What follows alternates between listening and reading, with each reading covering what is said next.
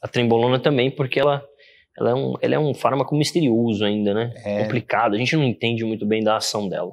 É, porque Então, não, não O que a gente pode, sabe né? é que ela deixa puto. Tem um estudo lá, cara, mostrando que os foram vistos os afluentes em torno da Hum. criação de gado onde, te- onde se utilizava a trembolona. Uhum. E foi visto que o comportamento dos peixes mudou, a parte reprodutiva dos peixes mudou, eles brigavam com mais frequência com, com os metabólitos do mijo do gado da trembolona. Olha só a potência do negócio, cara. É. Então é, é complicado, meu, complicado.